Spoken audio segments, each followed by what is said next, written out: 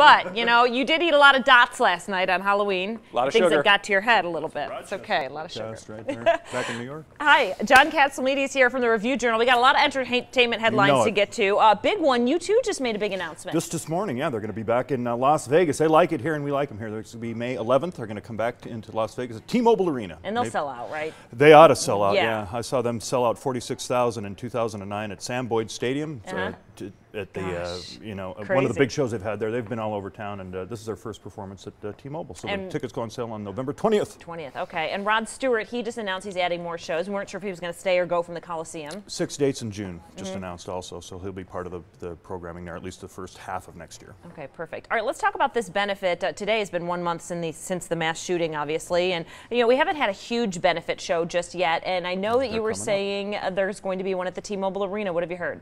Well, we've got a couple. We've got one on, on Sunday too at, at 1 sure the p.m. at the Vegas Cares. Venetian at uh, Vegas Cares. The one we're talking about here is uh, the Killers and Imagine, Imagine Dragons are working toward a, a couple of dates, either December 1st or 4th, as I've reported, to uh, combine efforts at T-Mobile Arena for an, uh, a big uh, for Las Vegas for the uh, Las Vegas Victim Funds concert, and I'm expecting to have some consolidation by the end of this week. Yeah. This is a complicated thing to get this You together. fit it in, right? You do. It originally was going to involve a lot of other people, we thought, but I think it's going to be just these two bands, and that is good enough because Gosh, they are yeah. the heart and soul of this city when it comes to rock and roll.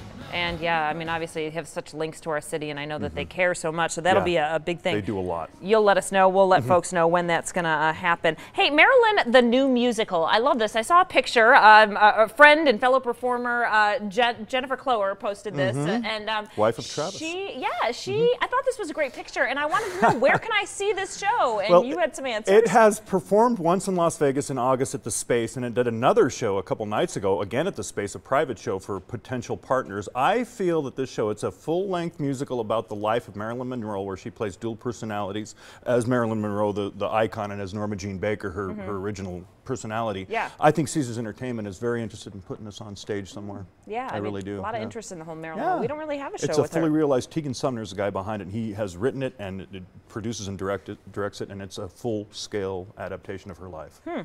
All right, Dirk Arthur, he is back again at the Westgate. We got about uh, 45 seconds. Let's talk about this. This guy has just uh, disappeared and reappeared so many times. I say Dirk's He's like- quite an entertainer. I'd say Dirk's like his cats. He's got nine lives, but that was that was the last time he was co- opening and closing. Now I think he has ten lives in Las Vegas. Yeah. He opened a Jubilee in 1993, I think it was, and uh, he's been uh, on stage in many different venues, everywhere from O'Shea's to, Uh-huh. to um, the Riviera, and he's going to be at the Westgate Cabaret with a couple of cats and a duck named Affleck on November 15th is when he reopens. Mm. Yeah. So we'll see how that's accepted. But Dirk is uh, he keeps coming with Yeah. his cats. Yeah, He's- he he's does got a snow coming. leopard and another one that he's using, and that's what he's going to do. All right, should be good. If you want to read more about any of these stories, you can go to Kats' column in the Review Journal. It's called Kats!